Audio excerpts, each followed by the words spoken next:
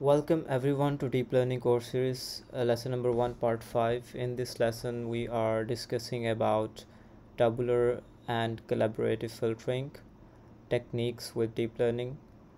Another stuff is Jupyter Notebook in Fast.ai. What is the role of Jupyter Notebooks? We will see in, in the detail. Third is uh, applications of deep learning uh, and the history and the basics of uh, machine learning techniques.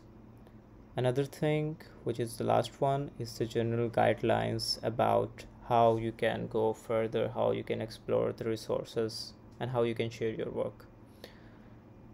So, these are the following highlights. I would suggest everyone to um, go to the resource section and find out the link number 15 to link number 21 and as I said that we are remaking the fast AI course practical deep learning 2022 and notes are uh, provided in Google Drive link number one in the resource section. Also you can uh, see the description of this video contains uh, the resource section as well. So these are the outline the topics we are going to discuss.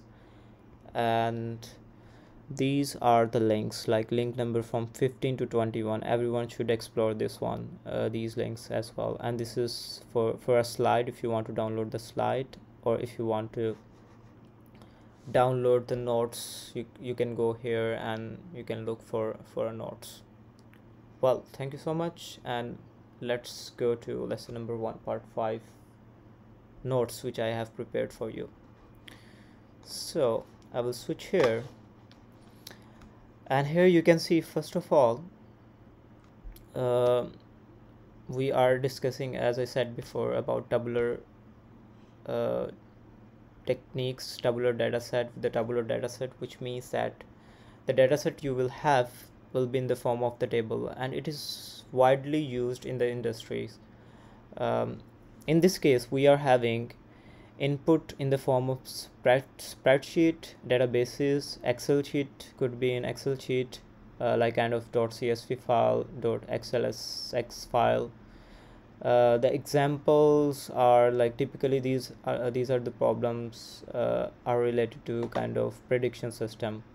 So we don't have images anymore in this case we have the tables as an input in this case and for example like uh, you are living in a city and you want you are working for a company and this company have given you some data about statistics of, the particular city and you are predicting uh, the number of buses in the city. This is one of the problem one of the example. Another stuff is uh, tabular analysis which is uh, in a tabular analysis which is income prediction which Jeremy have discussed. In this case uh, we are having um, the same way of modeling. But if you will see the untar data what it does is it will take an input uh, kind of input from uh, user in the form of uh, URLs so like in the same way what uh, the input we were having uh, the kind of links we are having we were having for images. So in this case we, we are having URLs to download the dataset and untar data will uh, decompress it for you. So there is a tabular class you can see here this one uh, tabular data loaders from CSV what it does is um, it will uh, do the following things. It will take the path of .csv file and y names uh, another argument which is uh, like you have to tell which column you want to predict in a uh, excel sheet. And you have to specify the categorical columns in excel sheet or categorical names in .csv file or in in the um, excel sheet so what what is happening actually? So uh, categorical names are the kind of columns which have the limited uh, kind of divisions uh, and limited uh, output. For example uh, the values of your uh, relationship um, could be like you could you could be married or either unmarried or you have your own children and this is a limited set of values. So categorical columns contains the limited set of value. And non-categorical which are like we are saying continuous values are kind of like for example you have a age 23rd and half 46 and half 22 or like a continuous value. So there is a difference between the kind of uh, columns contains continuous and um, categorical values well so for example here is uh, we are showing the data set.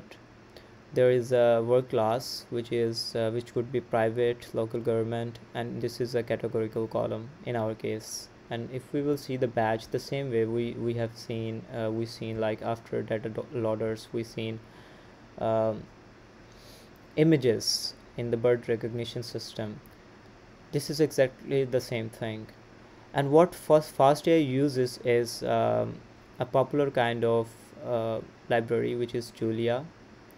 Uh, is a kind of I think a language. And this will automatically structure data in the right way regardless of what kind of data you're having. Whether you're having a data in the form of images or you are having a data in the form of excel file in the table or any kind of data. So we are we are using this in a FastAI library and show batch uh, on something provided useful information. Um, and in this way you can visualize about your data set. And if your data set has been loaded you can also verify that it has if it has been loaded uh, correctly or not. In our case like the columns you have seen here uh, these columns are uh, not uh, kind of it's a kind of input is uh, kind of uh, you can say dependent columns in our case. So dependent columns are the kind of columns which are used to predict the independent column. So in our case our independent column is like prediction of salary and dependent columns are demographic information or other columns that are used to predict uh, the salary range of a person. So i will show you some more examples. So there is another thing which is um, uh, so before that we will see how we can train the tabular kind of data. And the training is the same like we have seen before in a bird prediction system in this case we have we don't have vision underscore learner we have uh, tabular underscore learner so this is a general way how you can train the dataset in FastAI. So you have to write what kind of dataset you are having is a tabular and underscore the learner uh, to train the dataset. Second thing is about fit one cycle and fine tune. In the previously we were having fine tune uh, and I will explain to you why we, we how when when will be the situation we will use fine tune and when will be the situation we will use fit one cycle so so why we are using here fit one cycle and what does it mean and we are passing to which means like the number of iterations so learn underscore fit one cycle in this case so why it is that so because in tabular dataset, a table kind of dataset don't have pre-trained model. This is the first of the reason. And every table is a different, so there are no general features we can learn. But in images, we have pre-trained model which is available to us. And the pics are somehow similar generally, like for example, if you want to classify human um, if some if if there is a human or if there is a animal you can uh, you can understand like you can train your model uh, you can have a pre-trained model that is trained on animal so animal are having eyes and human are having eyes as well so uh, so images are having the kind of general features where we can learn from. And now I will show you the tutorial of how you can do experiment with tabular dataset. So for this what you need to do is you have to go to link number 15 here and click if you will click here you will see there is an example. Fastai.tabular.all and this is one of the example we have just seen. Yes uh, in a note. So you can have a look here and you can do some experiments and with your own dataset as well.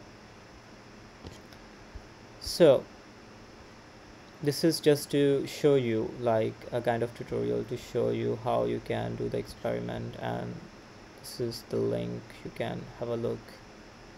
Okay so let's go back to uh, our notes. So let's talk about this. So now we are having another example of tabular dataset which is collaborative collaborative filtering we discussed before in our objectives. So it is kind of recommendation system. So how it works? One of the example of this one is uh, for example um, you have a dataset like which user likes which kind of products and which user used which project uh, which products. So this is input in the form of dataset is available to you and you have to guess what are the other products those user might like. Uh, and based upon that you you can find similar user as well. And what those similar users like.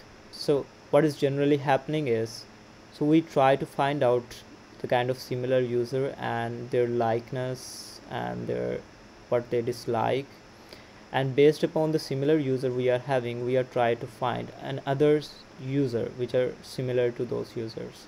So this is what happening in collaborative filtering example. So um, as I said before like uh, so the classification for the similar user or clustering for a similar users through collaborative filtering is not based upon like demographically but like based upon other similar users. So you cannot say that uh, if i'm sitting uh, if i'm living in a same city and another person is living in a same city we would like the same things. So this is this would not be like that. Another example is you are using music system like for example spotify apple music and they ask you from like few pieces of music you like. And based upon uh, what you have liked the kind of music they will recommend other music as well which is kind of similar to that music or like they can cluster you um, they can make a group of you they would put you in a kind of group that like the similar kind of uh, songs and what those users uh, your companions in a group like uh, the kind of um, you can say the songs. So here in this case we will go through we we are again having untar and we are having this uh, data set and we in this case we are having collaborative uh, collab data loaders. Is another class of data loaders and it will just take the path which is uh, rating.csv path of the file. And this is how it works. And to there is a one difference. So to train the collaborative filtering data set um, we have to specify the range of the values continuous value. So the range of value in our case is because it is a movie recommendation system so uh, we are in this case uh, predicting about the user's rating. So what user will rate about the particular movie. So we are predicting that. And here we used fine tune you can either use fit one cycle or you, you can either use the fine tune there is no problem in that so another thing which is really important is uh, the third point. In our case we are using valid loss which is like mean square error for this one. So the our evaluation measure in bird recognition system was uh, ac accuracy. But in this case we are using mean square error. You you can search about this in a google what is mean square error and the error like uh, so we have to see what is the uh, how it will get lower. So for example if you see the number of epochs we are having uh, 0 1 2 3 4 with the time uh, the validation loss got reduced. At first it, it was 1.3 and it is reduced to 0.6 which is pretty fine. So we can compromise on that so if you another thing if you want to visualize the results so how you can do it? So there is a function to see the results. So as we, we will see learn dot show results. It will give you the user id and the movie id and the actual rating. Actual rating means like what was actually available rating correct rating in a data set and what our prediction system predict. So in this case we were having the actual rating which was 4.0 what user has given but the predicted uh, rating by a model is 4.4 which is uh, pretty well I think it's there is no much difference because mean scale error is 0.6 so could be 4.6 at max in this case. Well we will see. Another thing is at 0 is like the index number 0 and 4.0 as I discussed before and let me give you a tutorial on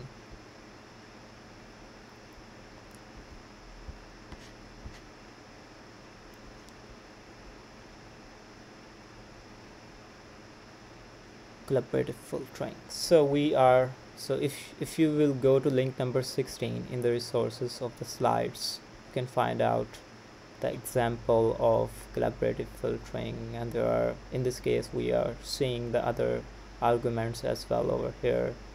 And this is for a movie and you can visualize the data and you can see the show batches. And there is a y range over here which is like 0 to 5.5 in this case which is a bit different from what we have seen. And you can just like you can read it and you can do experiment and you can again in the same way for what you have done for bird classification and tabular dataset for um, salary prediction system. Okay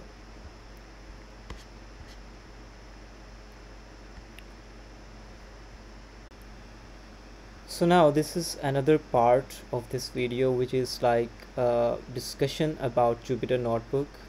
And one of the feature we we will discuss about Jupyter Notebook is Rise uh, extension in a Jupyter Notebook which turns your Jupyter Notebook to the slides. So how it works? So what you will need to do is first you will search rise jupyter in a google and it will put you it will give you some links for installation. And if you will open it rise.read.docs.io slash uh, table this link if you go this link and you you will see the guidelines how you can install it. The next thing is there is an interesting feature which is uh, called slide types. After when you will install in your local machine uh, this extension you can see you can uh, see there is a slide type I will show you in the picture. So there is a slide type. So we are having slide sub slide fragment and skip and notes as well. So you have to tell uh, this slide type is what. And based upon that it will show you the cell of the notebook uh, according to the type of slide. So for example I will give you one demonstration. Um, so for example so let's say you have two cells so in this picture we have the cell number 23 and we have given this cell a slide type is a slide. And another cell is uh, which is cell number 24 has a type which is fragment. And if you will uh, so when you will like run this Jupyter notebook in a slide version what you will see. So when you will be in the cell number 23 so you will see the cell like this because this is a slide and this is independent of everything every cell. But because slide number 4 is a fragment type it will get attached to the slide number 23 here. So this is the second look uh, what we are having if you press right. Well so there are a lot more we are having in fast ai a lot more applications are developed with jupyter notebooks. For example if we talk about uh, this book deep learning for coders fast uh, FastRoute ai uh, the entire book has been written in jupyter notebook. So for example uh, first of all let me show you uh, the extension about the extension and then I will show you uh, the free version of fast AI fast book and you can see uh, the whole book is written in Jupyter notebook. And we will go to the um, intro the first chapter which is the intro chapter. And if you will click to this chapter for example I will show you first here in the form of pictures. If you go to this URL this website fast AI fast book and there is a chapter which you can find out which is the chapter number one. And it is uh, you can see the type of this chapter is IPython notebook and the next thing is uh, you can see like a lot of people have done contribution uh, which is uh, really impressive like uh, to contribute on this book. Well so so let's discuss uh, about uh, Jupyter Notebook extension which is Rise. So you will go to the Google like this and you can search about Rise Jupyter. And here you can see there is a link. And you can even go to the slide we are having here. So I have mentioned the link here as well the link number 17 you can go here and check it out another thing is about fast ai which is the i think link number i haven't mentioned that link. Well so what you can do is you can go to the google fast ai fast book and go to the github. And here you can find out the chapter number one there are like 50, 25 contributions by the different people and this is all written in Jupyter notebook. And this is a chapter one of the book. Well so let's get get back to the notes. So we discussed about how, what are the types of fragments what are uh, the slide types. We are having the cell number 23 the cell number 24 and with the fragment and what is the difference between fragment slide type and what is the difference between non-fragment which is like kind of slide. And the fragment is always integrated to the slide type we are having. Okay so another thing which is really interesting that all Jupyter notebook um, are used to make FastAI library. So if you will go to this link, which is docs.fast.ai, you can see the documentation about how library was developed and all is, as I said, is in the Jupyter notebook. So, uh, I will go to this link later on. But first of all I will discuss with you a bit in detail. So what you will do is you will go uh, you will search in a Google fast AI slash fast AI and in this case you will directly go to the uh, notebooks. And this notebook name 00 torch.core which is uh, kind of library uh, uh, and it is all written in the Ju Jupyter notebook. And you can actually the uh, last thing is you can actually the explore exploration of you can actually have the exploration of the code. And with that code you can see the actual images what is the output of that code. So the nice thing about FastAI library is it is also actual demonstration of actual things the code with according to the output we are having next thing is uh, blogging. So all the bloggings uh, as you can see the Jeremy has a love for doing blogging. So FastAI also provide a new way to do blogging. So you can search in uh, you can search like fast pages and in the fast pages you will click on this link fast pages notebook blog post this link here. And when you will click here you will go to this uh, blog which is in HTML but actually it is Jupyter notebook which is converted to HTML and here you can see the actual demonstration of the cell contains code. So you will see here this is a cell contains a code. And you can also have a look to actual graphs as well. So now I will show you uh, another thing which is uh, like if you want to make a contribution if you uh, want to make a contribution to FastAI libraries how you can do with the Jupyter notebooks as well.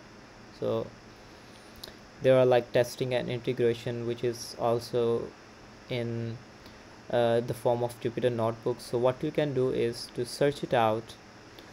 Uh, you will go to for example uh, you will go to this link uh, github.com slash fastai slash fastbook and if you will go here you will click on the action button.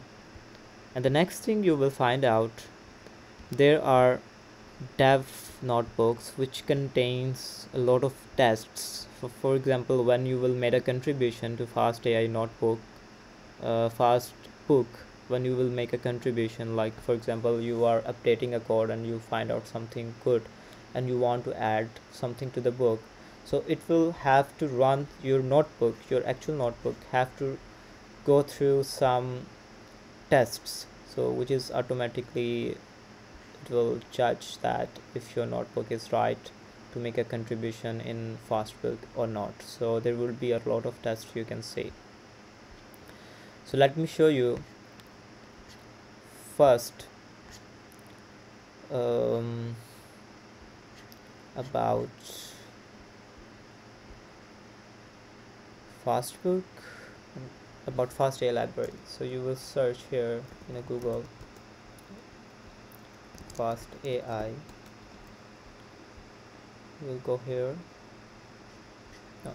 so you will search like github fast ai and this is the library FastAI library. And here you can find out the notebooks you're having. So for example if we will click here you can find out so 00 torch core the same I discussed with you. So these are like the actual code. FastAI library along the outputs. And you can see the doc documentations dot docs dot AI and I think like I have mentioned the link as well. So here you can find a link. So there is a link. If you want to make a contribution so link number 19 you can go here and check it out. So here is the documentation of the code you can see here and you can scroll it down like this and you can see what are the available resources we are having within the library. The next thing is which is fast pages notebook blog and you can go to this link which is like test.html but actually this one is a notebook which is converted to a blog and we are having codes the cell contains code like this uh, along their output and here you can see the output of this code is this graph and you can even have a look to the dataset and you can visualize it.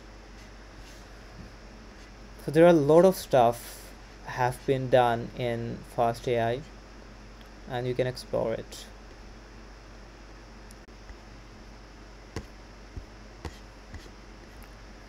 So now we will discuss about what we can do with deep learning. So with deep learning um, as you can see that this uh, nowadays deep learning is highly marketed in technology uh, marketed technology. And in 2014 it was not well hyped but still we are in the process of scratching this iceberg. And there there wasn't reliable way to get started with at that time in 2014 but now like for example with fast ai you can have a pre-trained model to get start and you have uh, downloaded weights which are uh, the pre-trained model which is uh, available for you. Uh, like we we have seen this uh, in an image net.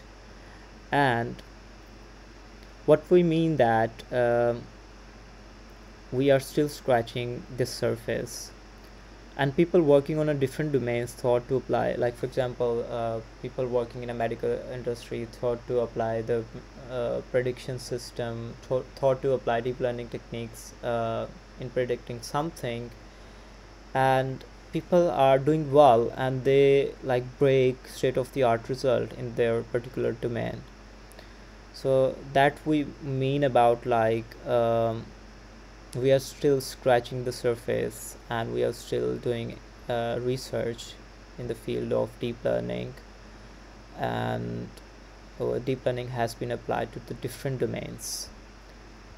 Few months later uh, like for example if somebody is applying uh, deep learning techniques and few months later they come up with the answer that i applied uh, this technique and we got a very we broke state-of-the-art results and the data could be in the different forms. So for example if i talk about my research my data was uh, the sensor data and we we have to recognize the human activity the head activity. So for example the head is the right or the head is in the left.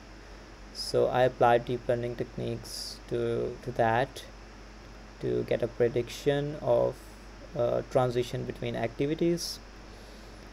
And here in the images like uh, I will show you. So deep learning has been applied to natural language process. So for example you can apply deep learning techniques to answering questions speech recognition searching in an article and in a computer vision uh, it has been applied to satellite or drone image images. For example one of the interesting thing which I have seen that um, drones uh, are used to detect uh, fruits in a tree. This is one of the interesting example. With the deep learning it is possible now. And drones are automatically picking those fruits from the trees. And this was one of the nice startup I have seen um, which uh, which is the application of deep learning and it has been applied to the medicine as well. For example my first research article was published uh, back in 2019 uh, it was on skin cancer skin lesion detection system. And we were having a data in the form of uh, images. And there were like skin images contains uh, if it is benign or malignant Im images. So there are like x-ray images as well where you can find anomalies if there is a kind of area where um, uh, like your bone is broken or not. So you can find out with deep learning as well. So in the biology you can uh, work on folding proteins classifying pro the type of protein. And in the image generation so there are like generative models which are quite hyped today. So for example uh, if you want to generate a music if you want to colorize the images if you want to generate images fake images so fake data set you can even generate with deep learning.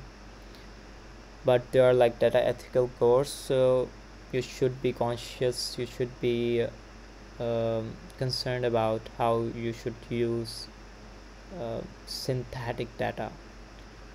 Another thing is which is recommendation system so you can work for a company which is quite famous in the industry like uh, which user will uh, like you can develop a prediction system in which you can tell like which user will buy which kind of product or like what kind of web search a user can do in playing games robotics and there are like a lot of stuff is going on.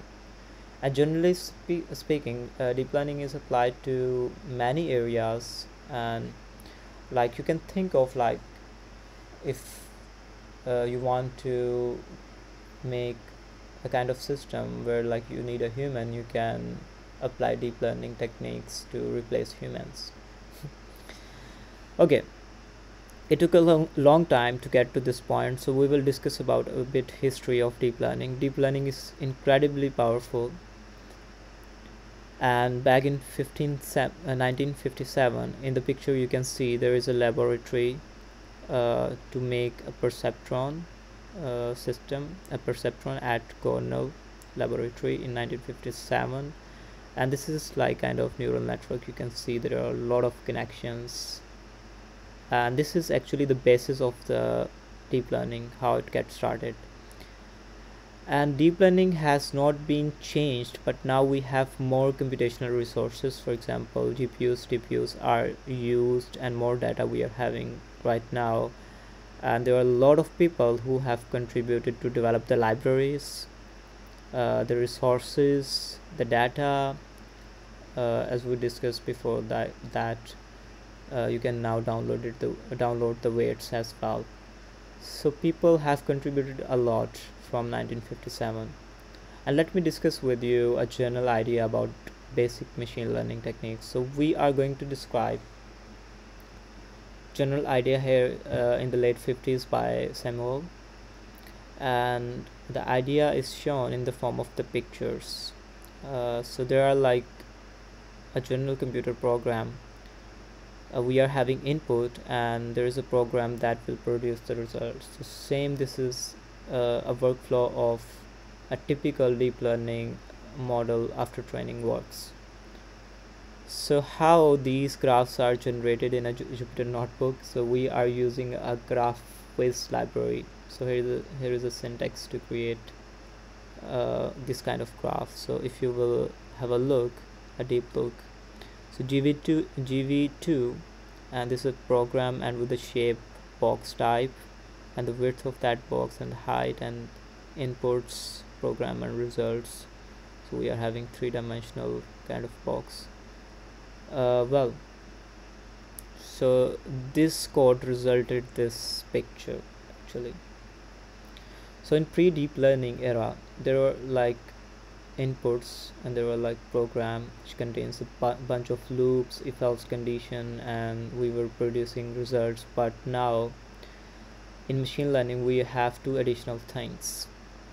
So now inputs along the inputs we are having weights and program is changed to model and then there is a result.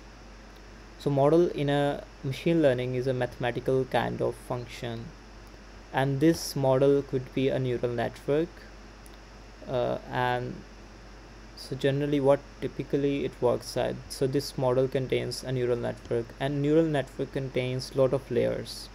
So for example in the layer one uh, you can have a list of weights in the form of numbers which is applied to the uh, input you are having. So images are actually the numbers. So so we are having typically inputs multiply by weights and we take the sum and then we produce the output. So if you have multiple layers you can pass the output one of the layer one and send it to the layer two. So so weight one in the layer two will be multiplied by output one and up to so and uh, weight and multiply by output n. And you can even have more layers so you can pass it to the layer number three. And this is how uh, the workflow of neural network uh, has been stated to you. The initial state what initially what we do is we start with the weights which are initially random and model initially does not do anything. So how it works? So let's see. The workflow of neural network or any kind of model. So first you will take an input and the weights could be random numbers and then uh, you will multiply them and pass to the model. So these inputs and weights are passed to the model which could be a CNN convolutional neural network or neural network simple neural network. The second thing is you will get a results from the model. Third thing is you will calculate the loss. So for example let's say we have we are we were having a classification system of birds. Initially the model uh, you were having the picture of the bird which was not actually the bird. So in the first iteration your model predicts the image of bird as a forest and forest image is as a bird. So your model is not for example initially is not correct. So what we say to the model is you are wrong and we will calculate the loss function. For example uh, we can calculate the loss function is uh, checking the accuracy of the model could be. And and we will have the accuracy function that calculates the percentage of photos correctly predicted. For example you have 100 photos and model is predicting 12 photos which is fine like 12 out of 100 photos correctly predicted so the accuracy of the model in this case is 12 percent because we just we were able to predict 12 images out of 100 images in a correct way. So now we need to make an update in a model. So the next next thing is when we will take a feedback from a loss function and we will update the weights here. And um, we will again after making an update we will uh, again check the model through the weights. And the new sets of weight which will be we hope will be better than the previous weights we are having. And this way uh, the loss function should be should have the less value. So for example at first the loss function was having the value 0 0.12 uh, so for example um, previously the loss function was so high so we were having 0.80 value. But after update in the weights we are having the loss function which is reduced from 0.8 to 0.5 so model is 50% correct in that case. So with the feedback from the loss function every time we update the weights and to make the model better and after few iteration it will become even better and better. So we will keep on updating the weights by having a loss feedback from the loss function and we will keep on updating this. After few iterations we will have the weights which are really suited for these inputs and the model accuracy becomes 93% so model is now 93% uh, better 90, uh, having accuracy 93% so model is correct. Well so as you know the model is uh, computable functions. So by fol uh, by following that mechanism we can solve any kind of function. So for example if you want to translate english to chinese you can make a computable functions. So there are like not kind of normal computable functions you studied in your high school uh, these are like a little bit uh, you have to understand this better uh, you have to learn about how it works. So we will we will see we, we will scratch this iceberg and we will see in details how this workflow actually works. So first like you just need to have a general idea what inputs are what weights are what model is and the results and the loss function and the update for that. So so in theory like you should be given a data and enough time so you can solve any kind of computable functions by solving these steps. So what happened after training? So so this is a training part. So when you train the data we will replace this image with this one. So we don't need loss function anymore because we have evaluated everything. And the weights would be integrated to the model and we have after training we have this picture so what we need to do is we will just pass input to the model and model will predict the result for us. So now we will take inputs. And uh, in the fast AI there is there was a function if you remember learn predict in which we passed the image of bird to check whether if it is a bird or not this is the function we were having in fastai library. So once it is trained we will call the function to get outputs. And deploying machine learning is easy with fast AI so uh, so you need one line of code which is learn dot predict and you will and after that like you can do the fit one cycle or fine tune your code and this is how pre-trained models map input to the output so to be a successful in this course there are like general guidelines. You need to remember so you need to follow this.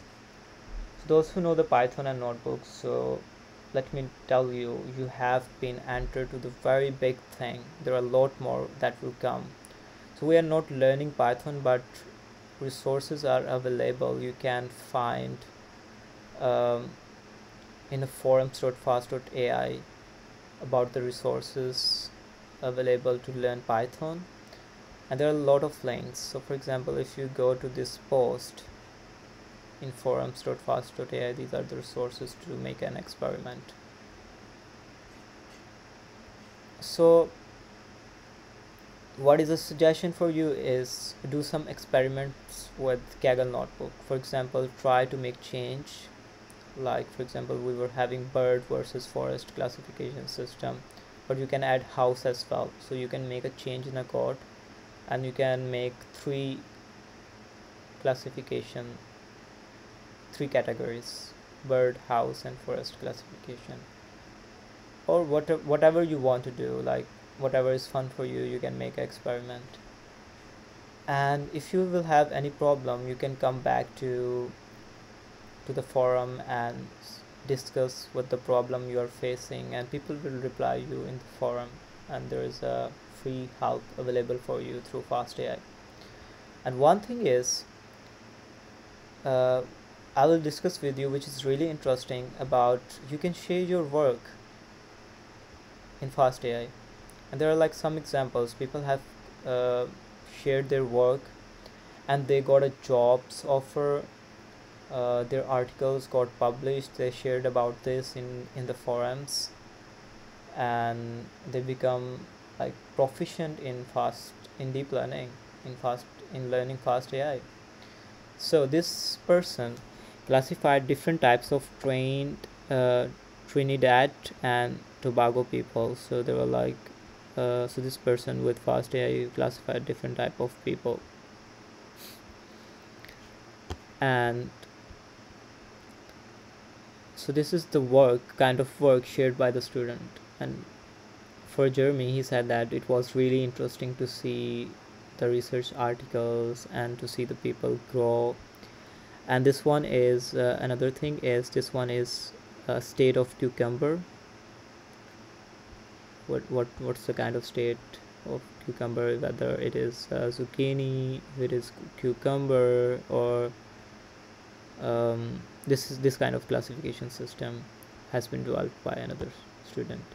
One of the interesting thing which i really like is uh, and very important is a satellite through satellite images you can check the cities which which is the city uh, we are having. So in China we were having Mongolia. This is a like through satellite images you are classifying the cities so we were uh, in this case we are having 110 cities 110 categories we are having in this kind of problem and they got 85% of accuracy with ResNet 34 model which is pretty well and there is a Panama city bus classification system and few students move to disaster resilience based images of satellites. So for example uh, if you see to these images this satellite image and there are like colors which is which specify the state of the building through satellite images. And it is it is really interesting to detect those buildings uh, yellow which means incomplete uh, buildings are incomplete red means the foundation and green means buildings are completed so like just trying to check out the state of the building through this. Okay. This was discussed before uh, sound classification system through images and this article got published and it, it has beaten the state-of-the-art results before. Another interesting application by a student of FastAI Elena who did tumor normal sequencing uh, at Human Longevity International and did three different interesting piece of uh, cancer work during the first course and beat the state-of-the-art results and this one is um, is a kind of application developed in a company called Glab, a software uh, uh at Splunk sorry Glab who developed this one is a software developer. And this Splunk company is very is a quite big company. And this is a project by the student who turned into the uh, into the product at Splunk. And they made a big blog for post for that. And what was the purpose of this? Like there are like uh, as I discussed before in I think the lesson number one part one so there are like movements of the mouse with the clicks in the form of dots and in the form of images we represented the speed of the mouse as well. For example like if you look to these images uh, these images so different colors and with along the lines specify the speed of the mouse. And what you are like uh, catching through that is uh, the fraud with the behavior of bi biometrics. So through mouse movements you can detect uh, the kind of users different kind of users. And one of the student who made a startup through uh, FastAI is um, he was trying to help visually impaired people. And there is much more like you can explore in forums. So I will show you. So if you go to the forums .fast.ai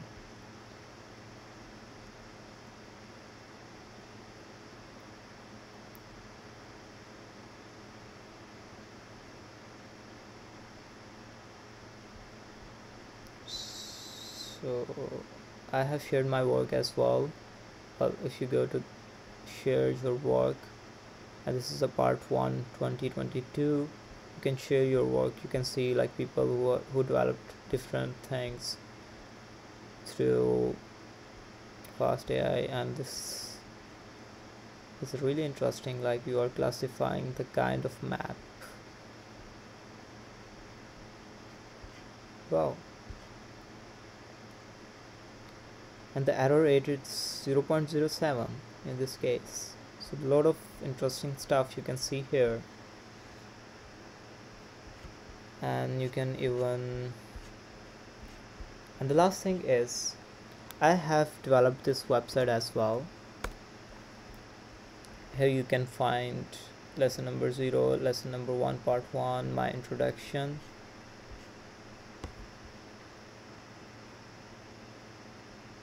And this is like kind of organized way. So I will upload this video soon. So thank you so much for your time